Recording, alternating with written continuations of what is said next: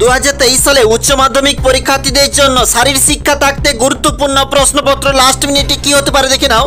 যেখানে প্রথম প্রশ্ন, শারীর শিক্ষা কাকে বলে? শারীর শিক্ষার আধুনিক ধারণা সম্পর্কে আলোচনা করো।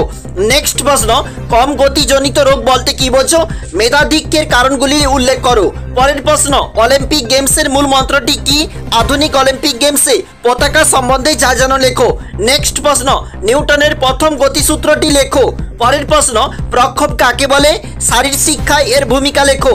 নেক্সট প্রশ্ন, ক্রীড়াক্ষেত্রে নিউটনের প্রথম গতিসূত্রের প্রয়োগ আলোচনা করো। নেক্সট প্রশ্ন, স্থূলতা কাকে বলে? এর কারণগুলি আলোচনা করো।